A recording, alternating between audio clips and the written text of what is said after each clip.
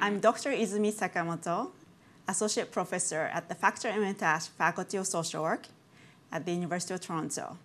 I'm also an academic fellow of the Center for Critical Qualitative Health Research at the University of Toronto. I have been conducting qualitative research for the past 20 years, including using focus groups interviews. Focus group interviews are one of the most common ways of gathering qualitative research data, and it's sometimes called a quick and easy way of conducting research.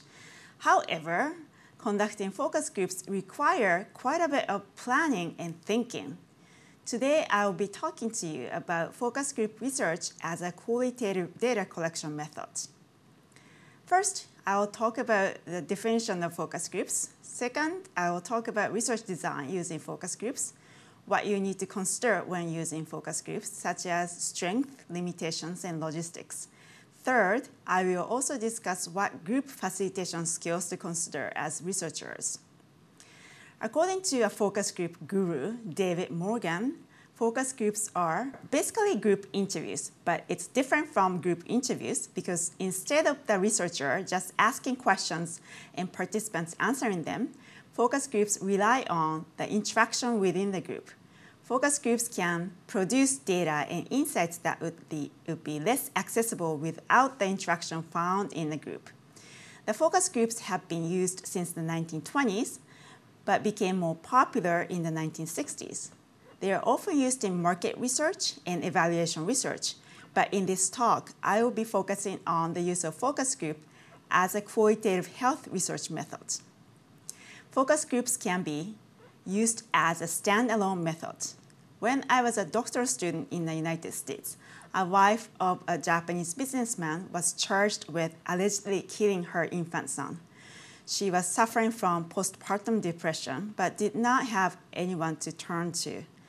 As an international student living in the US, I wondered what kinds of struggles spouses of international students and visiting scholars may be experiencing in the university family housing, where there were over 1,000 residents from other countries, but had limited services available to them because of their dependent visa status. There were rumors or anecdotes of these families experiencing stress, but there was no real data or information to help them. I applied for small funding and conducted four exploratory focus groups in four different languages to find out more about their experiences. The findings of this small study pointed to the interrelated issues of isolation and the lack of childcare. Based on the findings, a group of us developed community-based services for international families in collaboration with the university and designed a community-based participatory research project to further expand on the first initiative. The focus groups were, the, were used as a starting point of this project, and this study continued for additional four years. We continued working with hundreds of international families. Focus groups can be also used as a part of multi-method study. In a research project I led more recently, my colleagues and I in, interested in exploring the tacit assumptions behind the concept of Canadian experience. This concept has been a barrier to employment for new skilled immigrants living in Canada. We conducted interviews where we asked service providers, immigrants, and immigration experts what this Canadian experience really meant. But when they couldn't articulate well, even though the term is used so widely, we turned to the use of arts and subsequently conducted seven arts-based focus groups with a theater specialist who helped us design the use of arts in focus groups. As part of the larger study, the data from the focus groups then were analyzed in addition to other data we had from in-depth interviews and participant observation. The research findings were then turned into a theater production. Focus groups allowed participants and researchers together to brainstorm and solidify the meaning of Canadian experience. Again, we couldn't have done that. Turn into the deeper meaning of the topic under study without the power of focus groups. As you can see, a focus group method can be used in many different ways, and it's a versatile tool to have in your qualitative research toolbox. So why should we consider using focus groups? Focus groups can produce concentrated amounts of data on a very topic you're interested in. Focus groups can lead to spontaneous responses because of group interactions. Researchers can observe non-verbal behaviors and interaction patterns in a group setting. Also, focus groups can generate a variety of ideas and thus is considered economical and efficient focus group is flexible and allows for the use of arts, for example. Then what about the limitations of focus groups? While the strength of the focus group have to do with the groups, the limitations also have to do with the group. Groups' influence on individual responses mean that researchers have less control over the data than they would in individual interviews group dynamics could influence individual answers due to power differentials, prior relationships, and personality. People may be emotionally triggered by others sharing. People may not feel comfortable speaking about certain topics such as mental health issues or sexual behaviors in group settings. Assembling groups can take time and resources, also, you need to have a strong group facilitator to conduct an effective focus group. There are also limits to confidentiality. Researchers uh, cannot guarantee researchers cannot guarantee that the confidentiality can be kept by all the participants. It's particularly important to consider this when the topics discussed may include highly stigmatized identities or behaviors, such as invisible stigma, of HIV positive status or criminalized activities. Once you establish that focus groups are the best data collection method for your particular research purposes, you will start designing the specifics of running focus groups. From the main research questions, you would develop a focus group interview guide, which usually consists of main questions and follow-up questions for each. The number of questions you would ask may vary, but if you have 90 minutes in total for the entire focus group, you may have four to five main questions to allow for the group. Group interactions. For example, in the research study with Chinese skilled immigrants, we asked questions such as, has your life changed since you came to Canada? If so, how? When you were experiencing difficulty, what has helped, what was helpful for you? What advice would you give to newcomers and uh, newcomers now? It's a good idea to have a mock focus group with research team members or friends so that you can test out actual questions and modify them if necessary. If it's the first time you are using focus group method, it's very important that you practice running a focus group before you actually do one or become a co-facilitator of a focus group that somebody else is running so that you know what to expect. In designing focus groups, you also need to consider group structure and composition. With respect to structure, you want to consider things such as where and when to hold a group. Usually, usually the researcher beca becomes the facilitator of the focus group, but depending on the de demographics of the group members, you may want to have somebody else run it. Also, you may want to consider having a co-facilitator, observer, or note taker to help with the group. You also want to think about who you want in your group and why.